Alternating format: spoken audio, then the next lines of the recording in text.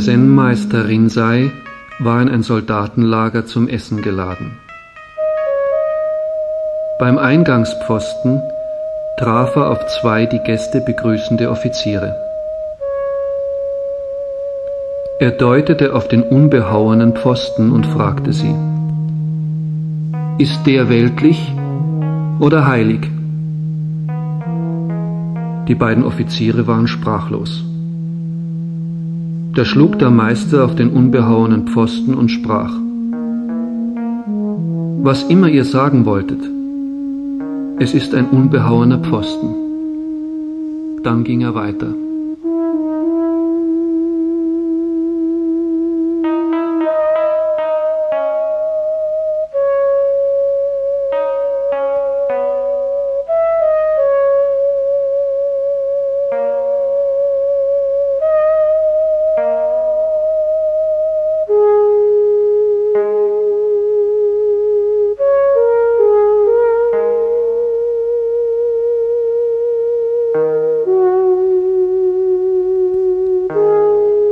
Durch Unmittelbarkeit kann auch die einfachste und alltäglichste Sache zur höchsten Erfahrung werden, wie Sie vielleicht selbst schon in Ihrer Zen-Praxis erleben konnten.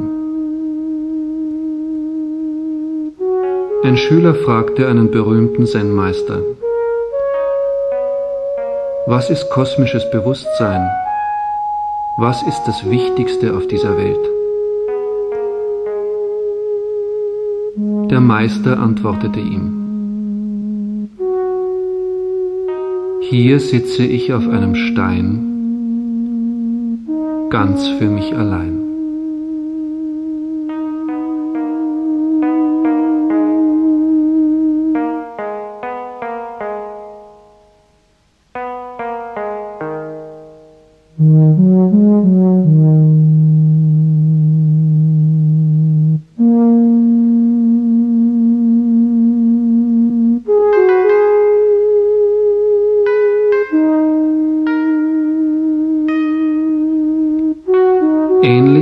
Daoismus identifiziert sich Zen mit dem naturgegebenen Ablauf der Dinge.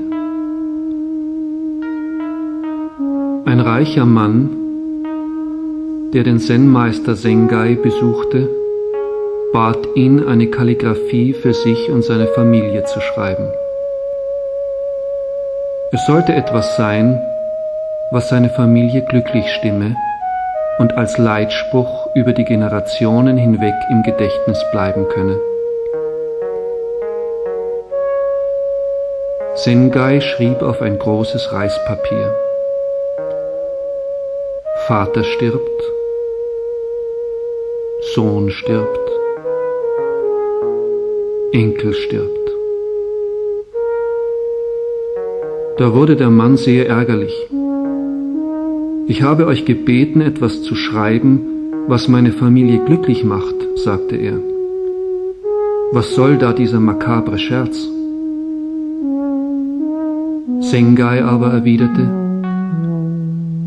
das sollte kein Scherz sein. Wenn dein Sohn vor dir sterben würde, wärest du sicher traurig. Wenn dein Enkel vor deinem Sohn sterben würde, so würde das deinen Sohn und dich sehr bekümmern. Wenn dagegen deine Familie Generation für Generation in der Reihenfolge verstirbt, die ich bezeichnet habe, so ist das der natürliche Ablauf des Lebens. Das nenne ich wahres Glück.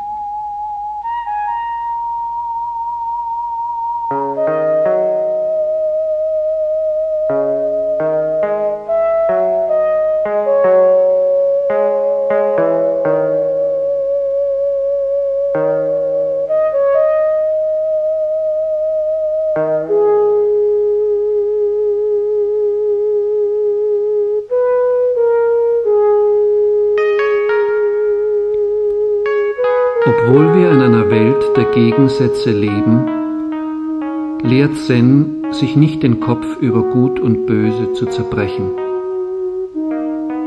So sagt der Zen-Meister Bankai, Hast du etwas Gutes getan und prahlst damit, so ist das Herz, das sich darin gefällt, böse. Und weiter spricht er,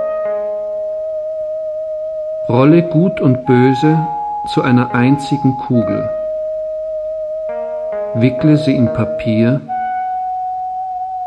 und wirf sie weg.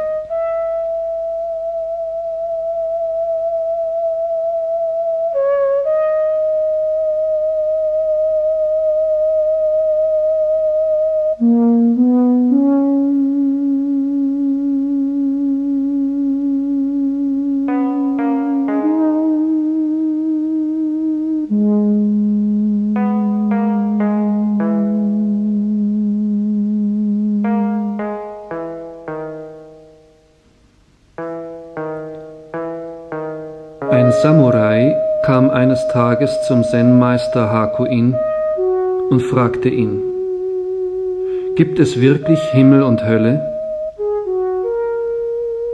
Da sagte Hakuin, Wer seid ihr überhaupt? Der Krieger antwortete, Ich bin der bekannte Samurai Nobushige, ein gefürchteter Schwertkämpfer. Hakuin erwiderte, Du willst ein Samurai sein? Du reizt mich zum Lachen. Du siehst eher aus wie ein Bettler. Der wütende Nobushige griff daraufhin zum Schwert, was Hakuin nicht hinderte, fortzufahren. Wirst du, jämmerliche Figur, dein Schwert auch einsetzen können? Als der Samurai sein Schwert zog, sprach der Zen-Meister. Hier öffnen sich die Pforten zur Hölle. Betroffen durch diesen Hinweis schob Nobushige das Schwert in die Scheide zurück, verbeugte sich vor Hakuin und dankte für die Belehrung. Hakuin aber sprach, hier öffnen sich die Pforten zum Himmel.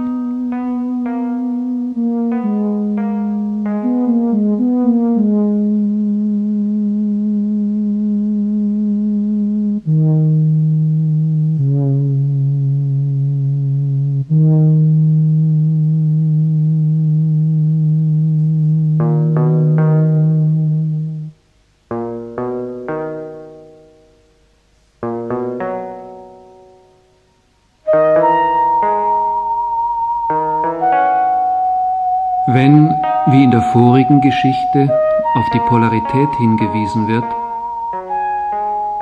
so hat dies im Zen nie etwas moralisch Bewertendes.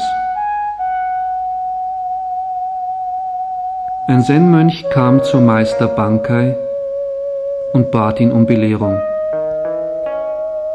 Er sagte, ich habe so oft aggressive Laune. Wie kann ich sie heilen? Du hast da etwas sehr Seltsames, antwortete Bankai. Lass es mich sehen. Jetzt im Augenblick kann ich sie euch nicht zeigen, sagte der Mönch. Ich bin jetzt ganz anderer Stimmung. Wann kannst du mir denn deinen Zorn zeigen? fragte Bankai. Er kommt ganz unerwartet, sagte der Schüler. Dann kann er nicht deine wahre Natur sein, erwiderte Bankai. Denn dann könntest du mir deinen Zorn jederzeit zeigen. Denke darüber nach.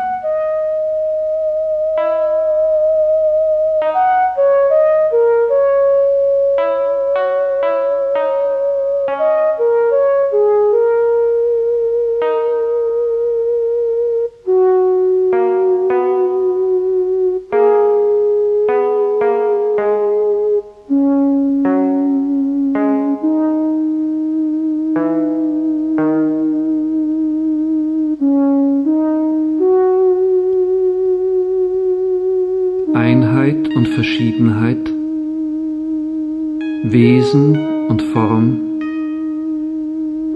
Geist und Körper, sind im Verständnis des Zen eins.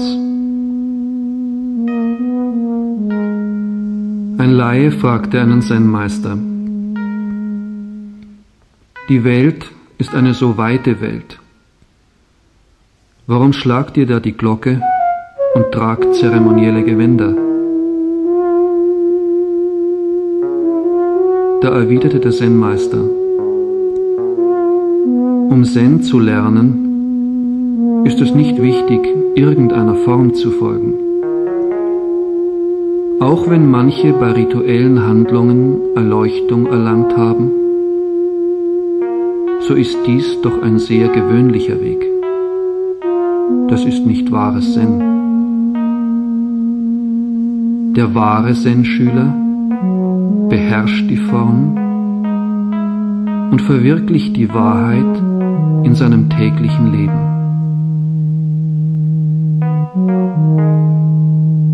Dasselbe Thema spricht auch das folgende Koan an. Wenn du verstehst, sind alle Dinge eins. Wenn du nicht verstehst, sind sie verschieden und getrennt. Wenn du nicht verstehst, sind alle Dinge eins. Wenn du verstehst, sind sie verschieden und getrennt.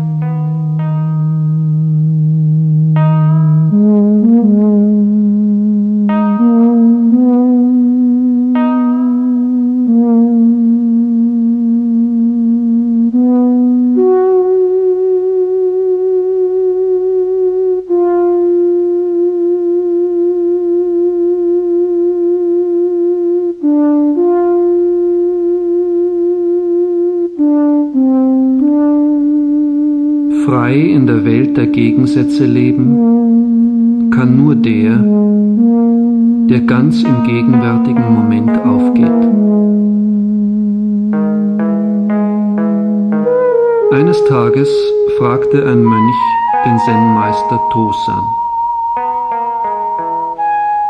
Gibt es Freiheit in einer Welt der Gegensätze? Wie können wir heiß und kalt vermeiden? Tosan antwortete, Warum gehst du nicht dorthin, wo es weder heiß noch kalt ist? Da fragte der Mönch, Wo ist denn ein Ort, der weder heiß noch kalt ist? Da sprach der Meister, Wenn es kalt ist, so sei vollständig kalt. Wenn es heiß ist, so sei vollständig heiß.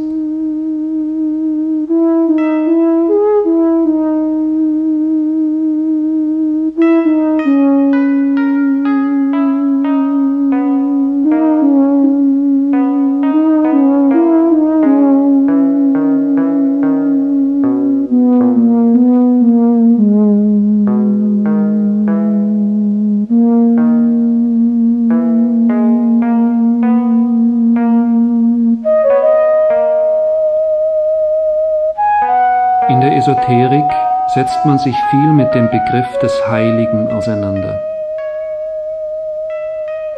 Doch entpuppt sich bei näherem Hinsehen Heiligkeit allzu oft nur als Scheinheiligkeit. Daher gibt es in Zen-Geschichten oft Warnungen vor der Versuchung dieser bigotten Heiligkeit. Der chinesische Kaiser Wu Ti fragte den Zen-Meister Bodhidharma, was ist der höchste Sinn der absoluten Wahrheit? Bodhidharma erwiderte, offen und weit, nichts von Heiligkeit.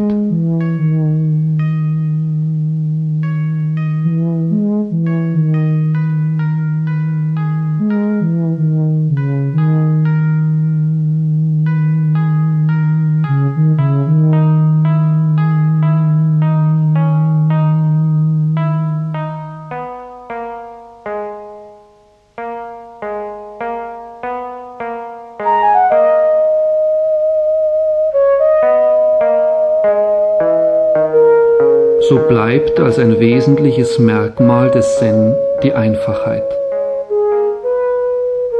Wenn du eins mit dir geworden bist, hast du kein Bedürfnis, durch Spektakuläres aufzufallen. Du musst dann nicht dein Minderwert empfinden durch Außergewöhnliches kompensieren. Es wird berichtet, dass ein Schüler des Zen-Meisters Rinzai mit dem Anhänger eines anderen Meisters sprach, der sagte, unser Meister kann Wunder wirken. Ich habe mit eigenen Augen gesehen, wie er aus der Luft Gegenstände hervorzauberte und vieles andere mehr. Was ist denn das Besondere an eurem Meister? Kann er auch so Großes vollbringen? Welche Wunder kann er denn wirken? Da antwortete der Schüler von Rinzai. Das größte Wunder, was mein Meister wirken kann, ist keine Wunder zu vollbringen.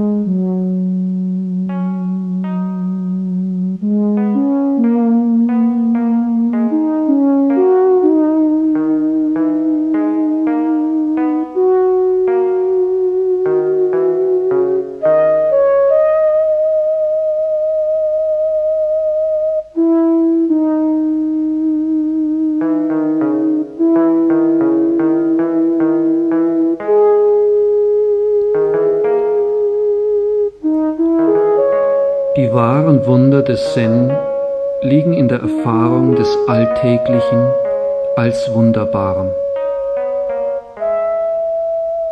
Darauf deutet der Zen-Meister Dogen hin, als er von einem Mönch Folgendes gefragt wurde.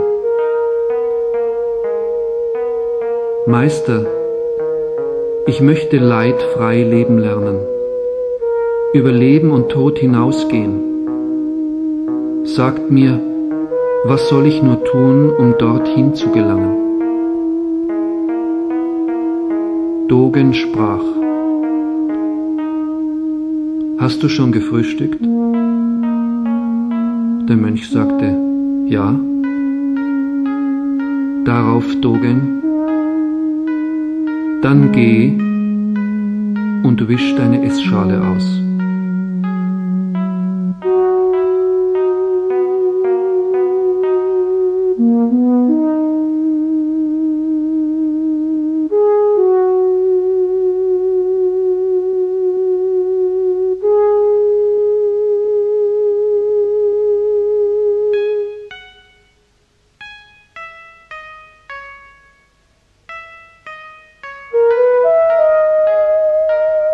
Sollten Sie nach diesen Zen-Geschichten noch immer die quälende Frage haben, was ist eigentlich Zen? So gibt es nur eine Antwort. Der Text ist jetzt zu Ende. Ihr Atem aber fließt auf wunderbare Art weiter.